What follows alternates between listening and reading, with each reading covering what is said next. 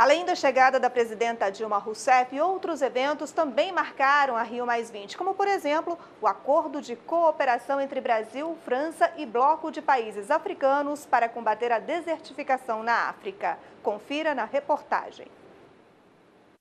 O deserto do Saara, localizado no norte da África, é uma das regiões mais pobres do mundo. Na área formada por países como Argélia, Senegal e Sudão, vivem cerca de 2 milhões e 500 mil pessoas. Para combater a desertificação no continente, um acordo entre Brasil, França e um bloco de países africanos foi firmado nesta quarta-feira, durante a conferência Rio A parceria vai acontecer em seis eixos: agricultura e alimentação, gestão de recursos naturais, adaptação a mudanças climáticas, desenvolvimento sustentável, governança, além de tecnologia e inovação. Esse acordo vai permitir uma grande confluência de esforços dos países africanos, do Brasil e da França também, é, para propor soluções para essa questão da desertificação.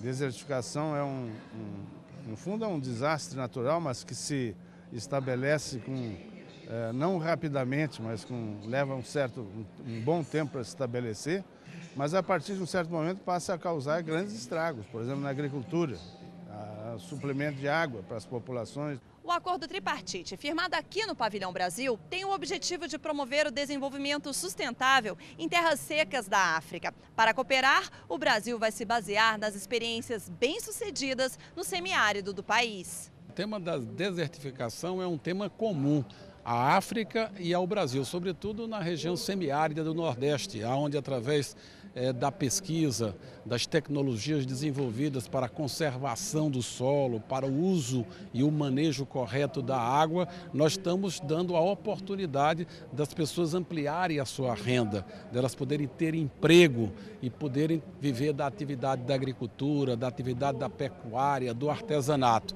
Essa experiência aqui acumulamos será muito importante em parceria com o Ministério da Ciência e Tecnologia, com a Academia Brasileira, de poder compartilhar esses conhecimentos para que a gente possa promover o desenvolvimento também na região árida é, do continente africano.